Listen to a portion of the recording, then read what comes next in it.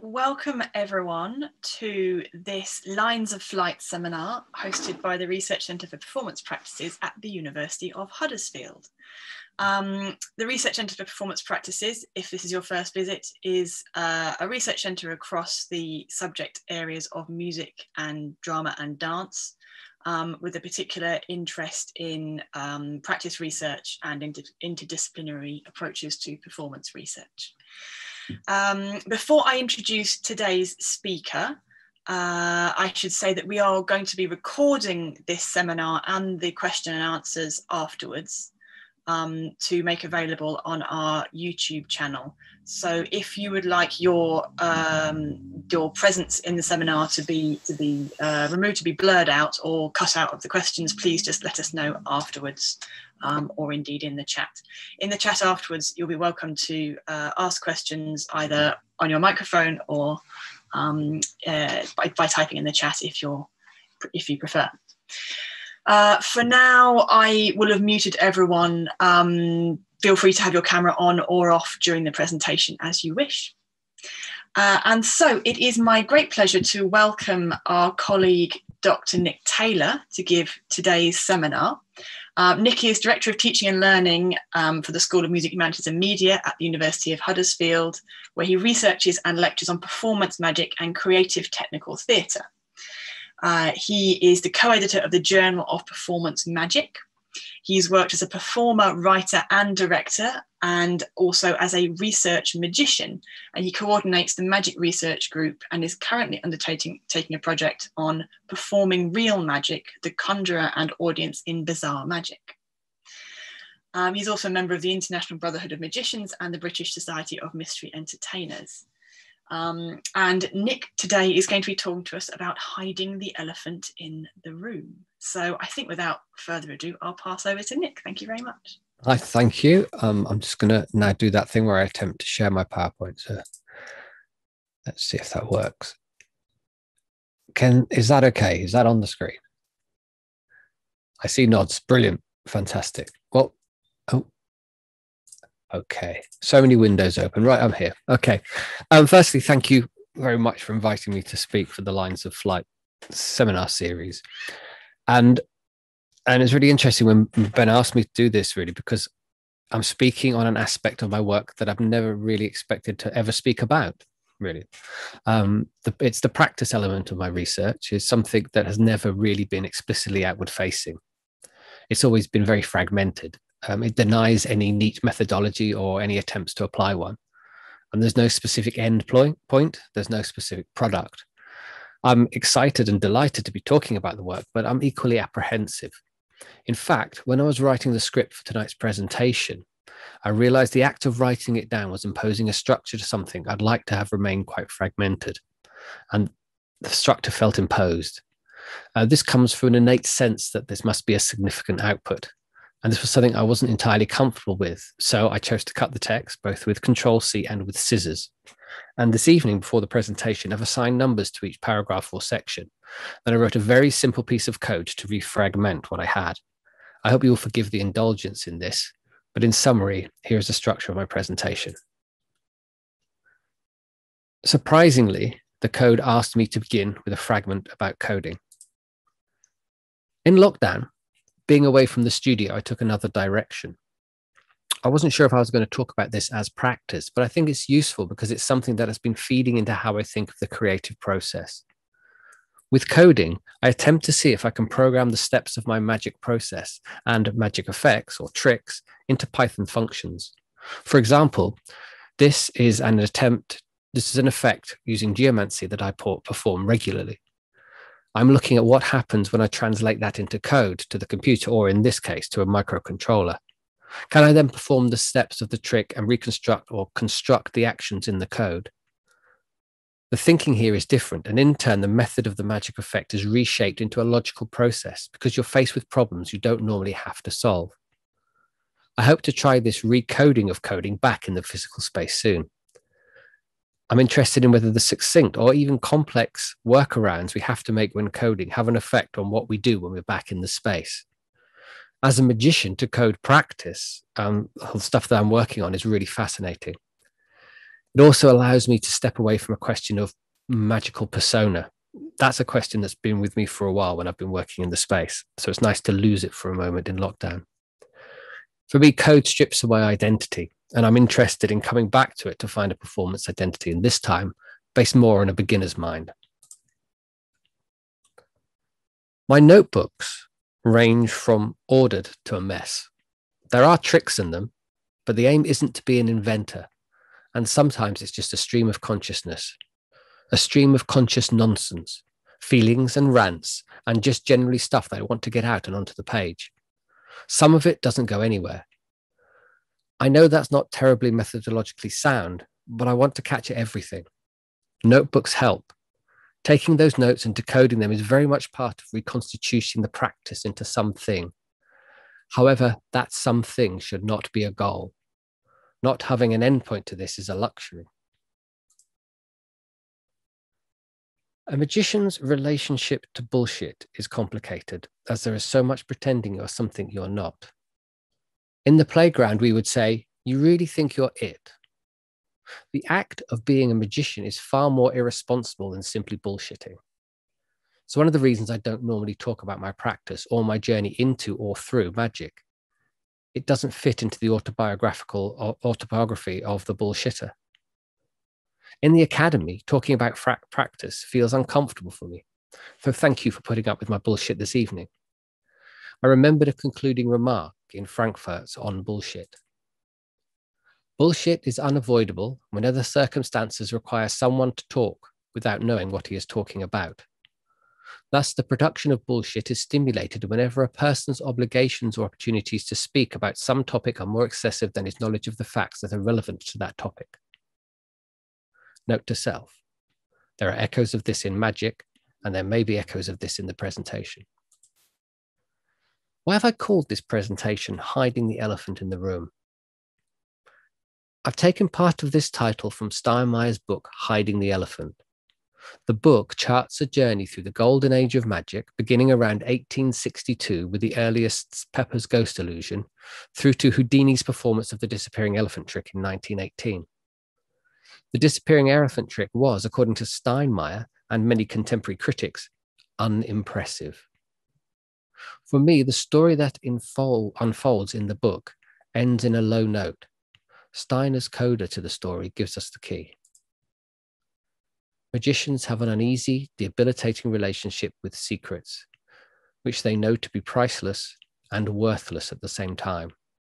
The actual devices, and Steinmeyer here is talking about big box illusions, the actual devices might be simple and crude and only of value as tools for a larger goal. But you see, this pre- presentation is about practice, it isn't about secrets. And so here's my version of the Steinmeyer. With a bit of editing, it becomes Nik has an uneasy, debilitating relationship with practice. He knows that practice is priceless and worthless at the same time. His actual practice might be simple and crude and only of value as a tool for a larger goal. And this evening, I'm going to present a deliberately fragmented approach to my thinking around this statement. Augusto Corrieri, in an autobiography of the autobiography of the hands on training in sleight of hand magic, takes an autobiographical approach to accounting his practice. He draws from Leroy's contention that perhaps bio- biographical narration in itself constitutes a mode of theorizing. Corrieri maps his chronological journey through sleight of hand magic. He begins this process by writing his CV. The practice is traditionally linear, the journey is traditionally performative. The question for me was Does this linear approach fully capture the fragmented nature of my own journey through magic, which is far more fragmented and fragmented and problematic? I tried writing a CV of magic. It didn't seem honest and missed out so much. Although honesty and missing out truth is pretty much a magician's thing to do, so I don't know why it bothered me so much. I believe my need to understand through practice doesn't just come from an engagement with the training in magic in a traditional sense. It comes from the fragmented nature of all we have become in our lives. My approach in the space, in practice, is fragmented through memory, by coming to terms. It is private, it is sometimes angry, it is sometimes lost, and quite often it's not ready to be seen. But does that matter? In a way, yes, as outwardly, externally, the performance of magic and the persona of the magician relies on performative writing rather than honesty. A CV that claims to set out magic training is itself a performance. A CV is a performance, it is a deception. When asked what I do, I reply, I'm a magician. I sometimes add, but not that type. There's a lot of reasons for this, but more of those later or before, depending on how this presentation gets fragmented and randomized. Quite a lot of my work is around something called bizarre magic, an easily dismissed genre, but I think an important one. It was a countercultural reaction against the glamour and glitz of magic in the 70s, although it has foundations way back.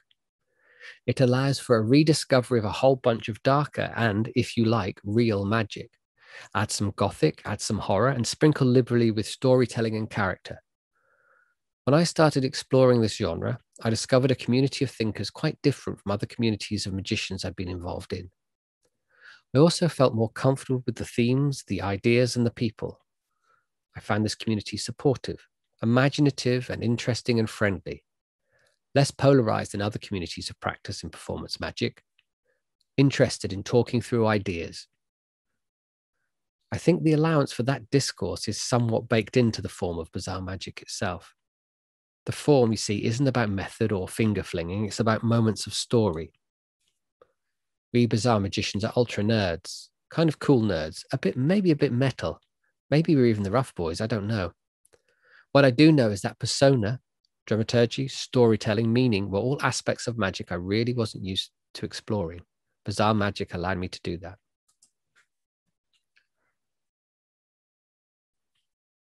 You see, I can't separate my journey through magic from growing up the way I did.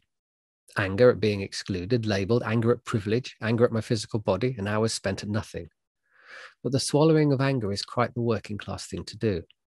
This anger is suppressed, it has nowhere to go. When it does find an outlet, it's usually not healthy. Magic did not save me. At 15, a teacher took me aside for a chat. He says I wasn't like the other kids and had I thought about university? Obviously, I hadn't, as I knew nothing about university or polys or anything like that. In fact, I genuinely thought there are only two universities in the country Oxford and Cambridge. I had no idea what went on there, although I suspected it was populated by men wearing large glasses and mainly beige suits. These places were not for people like me. It was institutionalized knowledge suspension, it was exclusion. Why am I telling you this? It's because these things provide a foundation to the continued working class chip I have on my shoulder. What did I have in common with the bourgeois magician and their right of center politics? I have to stop there, you see, because I'm starting to write performatively. I'm mashing up memories to make myself sound interesting. I want to reflect on my own discovery of magic, on my journey to a way of thinking, a way of thinking I'm happily unconvinced about. Choreography, curation, and hosting. If you haven't already, read the stuff coming from Mark Hughes, his open letters from a PhD project. Really interesting. His journey through practice is fascinating. In his last letter, he stated, For me, there is always a tension between allowing yourself to see what emerges in free practice and working towards something something that probably needs to be archived, performed, or refable. I haven't yet found myself in a place, in that place, as the refable material isn't directly, at least for now, rooted in my practice. Practice is something that might supplement some of my outputs, but it's a lot freer than that. And um, this has mainly come from me being unsure of the usefulness of practice of re- as research. Taken another approach in the space, I would place myself in experiences I was never part of, different situations or different imaginings, be they economic, learning, or mentoring, all fictions. Some of this work eventually found its way into the article Out of Tricks through my practice exploring H.G. Um, Wells's The Magic Shop. I called this part of my work this did not happen to me. I was creating false autobiogra- autobiographies and putting myself inside of them, memories that were not my own. As a child, they're memories I wanted. As a child, creating my own fictional autobiography was a desire. As a magician, it is a necessity. I'm not sure I was or am comfortable with either. During lockdown, and partly as a consequence of not being in a studio, I started a series of photographs called Abandoned Magic. I wanted to get back in touch with my earliest journeys through magic. You see, when it comes to magic, I never throw anything away. This means I have boxes of stuff, treasure to magicians, crap to everyone else. Actually, it can be crap to magicians. Abandoned Magic are photographs that tell tales of magic that I've performed, used, um, or made when I was a kid. These photographs tell an autobiographical journey. The photograph here, the Joker and the matchbox, or really a magic trick that allows me to change a playing card to a matchbox, was something I made. I must have made it when I was about eight or nine. Um, probably from a, I probably saw it in a library book or something. The story it tells for me, I can see the house where we lived in. I can see the living room where I made the thing. The matchbox itself is a wooden matchbox. Um, probably used to light my dad's cigarettes. I might have even popped to the shop to get that those cigarettes and that matchbox. Though I don't know that for sure, as kids playing with matches and setting fire to stuff was a bit of a hobby for us in the 70s, so I could have got it from elsewhere. I don't think they make wooden matchboxes anymore, do they? The playing card that made that made that it's made from is really important. It's significant. It's a cheap pack of cards. It would have been the only pack of cards I had, and it would have been awful for trying to do magic with. When you look at magicians using bicycle cards these days, you wonder how I ever managed to work with this type of stuff. It's also made from the Joker, and that's really important. It just does tell me that this was only that was only one pack of cards that I had. So to make the object, I needed a card that wouldn't affect the deck. And of course, the Joker could be easily sacrificed. So within these photographs of abandoned magic, I see loss. I see people. I see times. I see different energies. Before, during, and after I'm in the space, I try not to map the practice. I try not to map before, during, and after, but it is inevitable that I do. I'm interested in the accidents that occur in the space. But equally, I might see what happens when I endlessly repeat a card trick. What happens if I endlessly practice a difficult move? Repeat an action, how my body, how my hands respond, and the mess that's left at the end. Autobiographical. The work is and has to be autobiographical. So much of my practice is looking backwards, in fact, I've redacted most of this section as I'm not ready to talk about it. In the Handbook of Autoethnography, the editors describe the process as complex and uncertain and encourage authors to embrace vulnerability with purpose. Sometimes I'm not quite sure I'm ready to share that element of me. Therefore, for this slide, I'm activating a mitigation of vulnerability. Midway in my last chunk of practice, I describe myself as being between the geomantic symbols Via and Populus. I come back to geomantic work regularly in my practice and indeed in my performances. Um, note that the interface with real magic is something I barely talk about, but it does form part of my practice. And a few years ago, it saw me undertake bardic training with the Order of Bards, Druids, and Ovates. But here, Populus represents stability, security, and the status quo. It has to be fortified by the waxing moon. It moves forward towards the light. It is a safe place to be if you are allowed to be part of it, or even if you allow yourself to be part of it. Via is a rapid river running through this balance. Represented by the waning moon, it takes us into dark places. Full of energy, it represents an unstable path. It is a symbol of change. I find myself in Via often, and sometimes I don't like it. Magician Max Maven once said, A culture without magic or mystery would be insane. I think that as you explore magic, mystery, practice, truth, genuineness, honesty, and bullshit, you can become insane. I record everything that goes on in the space. I prompt myself, I watch it back, I make notes, I make more notes, including notes on me making notes, all of which will probably only be seen by me. I'm not making a video essay or a demonstration of practice or a performance to be seen by real people. These are essentially private moments. That's probably the best way to put it. As I'm writing this, I realize I don't know about the structure of this presentation at all. I haven't ever talked about my practice or what goes on. I write articles and chapters, and practice can feel stolen or unjustified. For me, practice isn't a rehearsal. It isn't practicing a magic trick. There is no endpoint necessarily. It's fragmented, recorded, and notes are made. While there was no intention that the work leads anywhere, it inevitably does. It contains vulnerabilities. It is private. It contains truth. And there is little place for truth in performance magic. I often find myself amidst the tension deep rooted in working class anti art sentiment. What good is practice if it doesn't make anything? The bourgeois magician.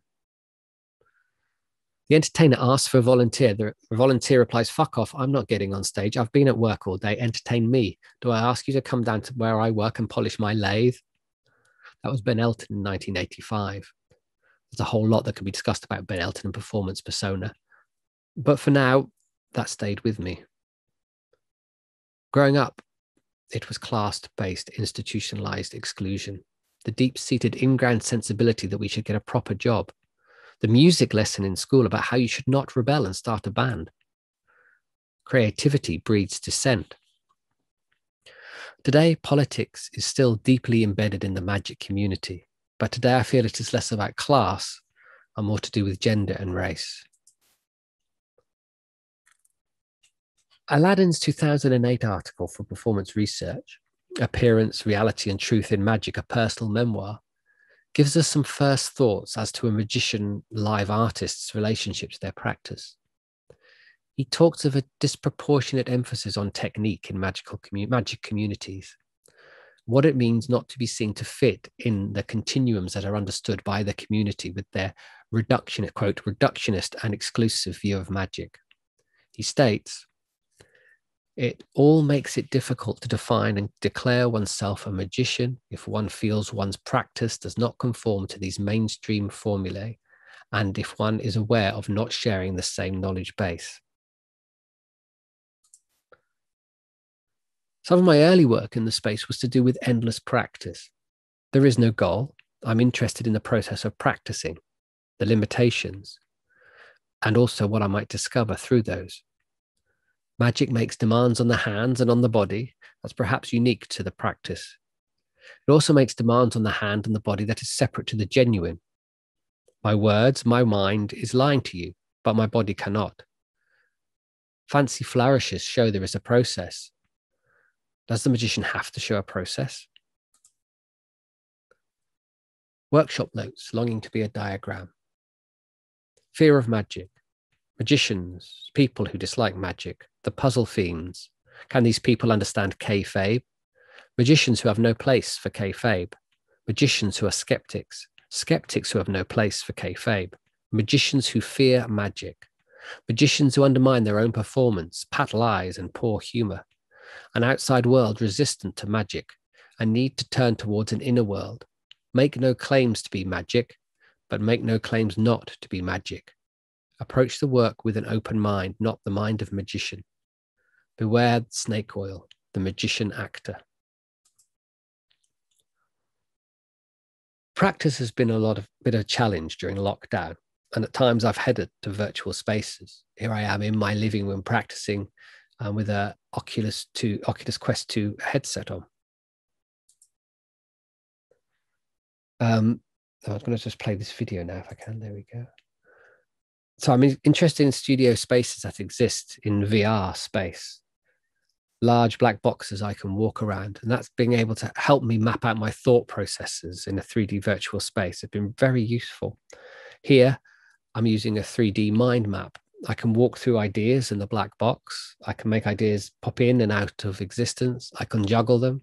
I can push. I can pull them, I can explore, I can be amongst them. Much more than perhaps if I was working in, in the studio and then making notes afterwards. It's kind of a really interesting hybrid approach for me. Another way to use virtual space is to paint. In this case, again, I'm in a black box in a virtual space and I'm painting. Um, I'm tracking my hands and I'm tracking everything I do. In this one here, if I just play a little bit of it, this table here is actually a tracing of a real table. So this is my magic table that I perform at in the real space. I've traced it in virtual space. And so I can put things on it. I can perform. I know where it is in the virtual space. I won't bump into it. And what I've been doing is I've been tracking my hands. Um, in this case, this one here is from an early script I used to perform called How Psychic Are You? It allows me that um, it will draw it, it's drawing it quite fast, it's, it's sped up here, but I can actually see my movements in the space. Um, I can see where my hand was at any time, how I've used the space, where my hand is, where attention might be. If I'm honest, I'm not sure where this would go. It was just a very interesting experiment. And I think I'm producing some very interesting stuff that I might use eventually.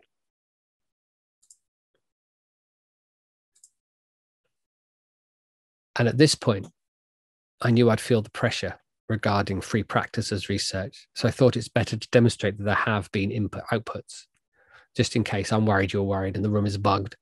Here's a map. It's slightly out of date of how the work could be mapped or is have been mapped to outputs. I feel a bit better now. So from this practice, I completed two articles which went into the Magiculum volumes one and two the work is very much concerned with talking about my own practice, my own personal experience. The first one being about practice at the start of my exploration of bizarre magic, in particular, talking about the shaping of a magic persona. The second one was a kind of extension of that talking, and it talked about the nitty gritty of persona. I found this, these works interesting and tricky to put together, and because it was based on this fragmented free practice. Also, I didn't like the fact that I was making some of the practice concrete in written form, which is why, even in those articles, I think they feel fragmented. And that's deliberate. And equally, it's found its way into this presentation. So I constantly find myself coming back to the genuineness of all of this, of finding a performance persona in magic, a practice in magic. And it's always been a challenge for me the genuineness genuineness of a magician is not like taking on a character and it's not like you could be yourself either no matter what some magic books might say. So by fragmenting this work in practice and tonight i have indulged in performance writing. I don't think i've told any lies but of course a magician would say that. I find that very disconcerting. Thank you for listening and next time, I promise I'll do a card trick. There we go.